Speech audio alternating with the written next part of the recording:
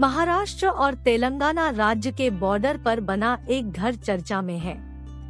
दरअसल, यह घर दोनों ही राज्यों में पड़ता है। घर का आधा हिस्सा महाराष्ट्र में तो आधा तेलंगाना में है। दो राज्यों में बंटे इस घर की रसोई तेलंगाना में है, वहीं बेडरूम और हॉल महाराष्ट्र में है। सुनने में यह बात लोगों को अजीब लग सकती है, पर यह हकीकत है। तेलंगाना और महाराष्ट्र के बॉर्डर पर मौजूद महाराजगुड़ा गाँव के 10 कमरों वाले घर में पवार परिवार रहता है। पवार परिवार के घर के चार कमरे तेलंगाना में हैं, वहीं चार अन्य महाराष्ट्र राज्य में आते हैं। घर का रसोई वाला हिस्सा तेलंगाना में है।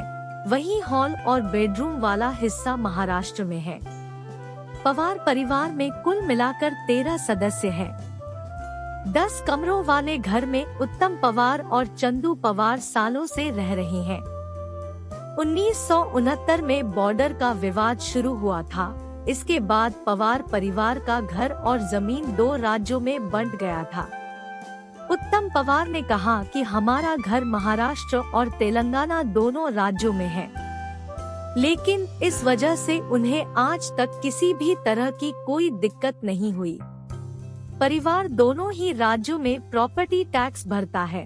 इसके बदले में उन्हें दोनों ही राज्यों की सरकारी योजनाओं का भी लाभ मिलता है। पवार परिवार के पास दोनों ही राज्यों के रजिस्ट्रेशन नंबर वाले वाहन हैं। महाराष्ट्र और तेलंगाना दोनों महाराष्ट्र तेलंगाना सीमा से लगे चौदह गाँवों पर अपना दावा ठोक रहे हैं।